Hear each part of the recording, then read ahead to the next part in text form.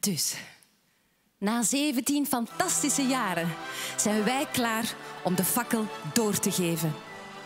We hebben er maandenlang naar gezocht, maar jullie hebben samen met ons de drie beste, liefste, leukste meisjes gekozen.